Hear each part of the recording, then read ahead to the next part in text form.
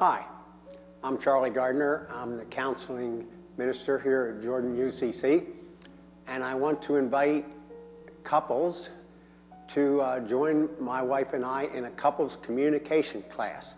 Now, you may be wondering, well, what happens in a couples communication class? Well, basically, it'll be a small group of people.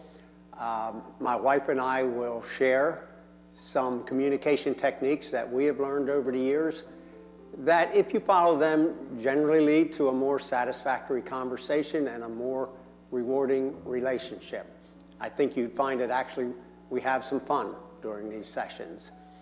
Um, you can contact me at 717-816-4246 or email me at charlesegardner at ptd.net.